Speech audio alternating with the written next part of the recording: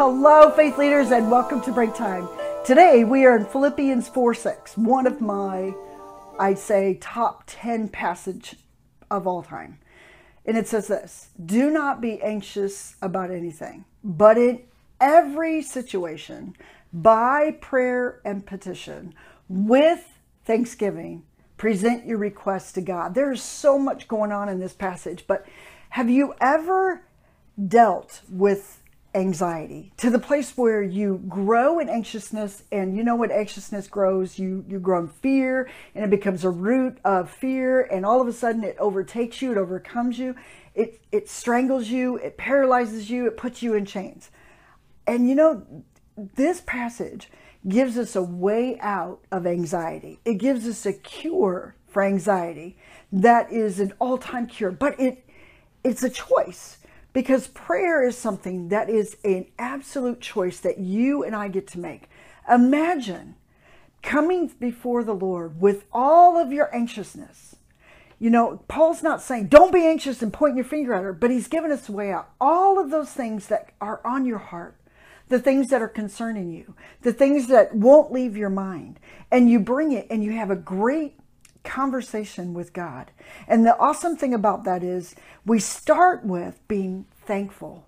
You know, with thanksgiving is a key to opening up so much that God has for us.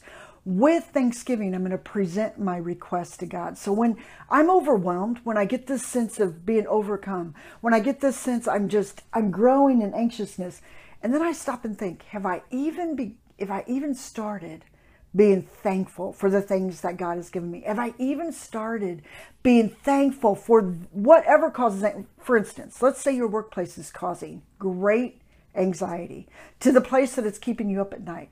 Maybe it's your finances. Maybe it's your marriage. Maybe you have a broken relationship. Whatever it may be. Maybe you have a wayward child that concerns you. Whatever it would be, start by being thankful. I praise you, God. I thank you, God, that I have a job.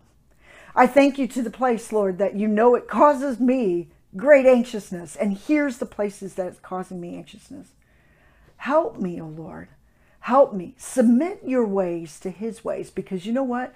When we do that, he gives us insights into the way that he sees things and dismisses the, the anxiety and the anxiousness and us trying to control it or figure it out in ways that we imprison ourselves to this anxious prison.